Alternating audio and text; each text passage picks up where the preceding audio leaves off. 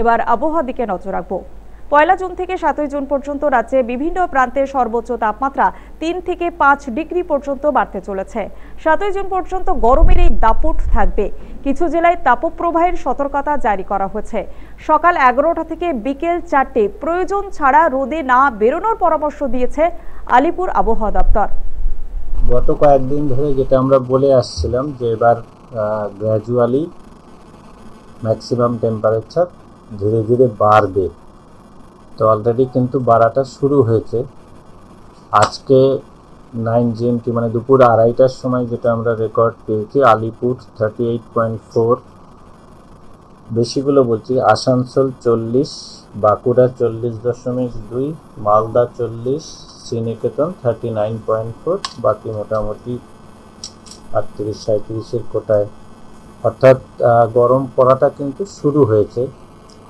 এবার পূর্বাভাস যেটা থাকছে হচ্ছে আজকে এক তারিখ, এক থেকে সাত এই সময়টায় দক্ষিণবঙ্গের সমস্ত জেলা এবং উত্তরবঙ্গের তিনটি জেলা, অর্থাৎ মালদা এবং দুই দিনাজপুর।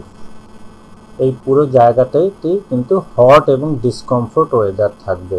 এই হট অ্যান্ড ডিসকমফোর্টটা সব জায়গাতেই থাকছে, কিন্তু কিছু জেলাতে আমরা তাপপ্রবাহের সতর্কতা জারি করেছি। তার মধ্যে আজকে এক তারিখ মূলত পশ্চিমের যে জেলাগুলো, অর্থাৎ পুরুলিয়া, বাঁকুড়া, পশ্চিম বর্ধমান, বীরভূম, কিছুটা ঝাড়গ্রাম আর কোস্টে আমাদের দক্ষিণ চব্বিশ পরগনা।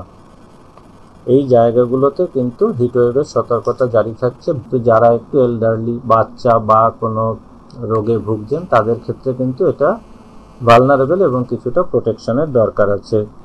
ফলে অ্যাডভাইসারি হিসাবে যেগুলো আমরা দিচ্ছি বারবারই বলছি, সেটা হচ্ছে কন্টিনিউয়াস মানে অনেকক্ষণ ধরে রোদে না থাকা। বিশেষ করে অ্যাভয়েড করা হচ্ছে এগারোটা থেকে চারটে এই সময়টা যখন ম্যাক্সিমাম হিটিং হচ্ছে। আগের হিটের সাথে এই হিটটার তফাৎ যেটা হচ্ছে আমরা ক্রমশ বর্ষার দিকে এগোচ্ছি, অর্থাৎ আজকে পয়লা জুন। ফলে এখন কিন্তু যে হিট হবে সেটা খুব বেশি ড্রাই হিট হবে না। ফলে সাথে কিন্তু ঘাম হবে, ময়েশ্চার যেহেতু অল্প বিস্তার ঢুকছে, যদিও সেটা খুব বেশি নয়, যা থেকে বৃষ্টি হতে পারে বেশি। ফলে আর্দ্রতাজনিত যে অস্বস্তি, সেটা কিন্তু বাড়বে আগামী দিনেও। ছয় এবং সাতে টেম্পারেচার একটু বেশি বাড়বে।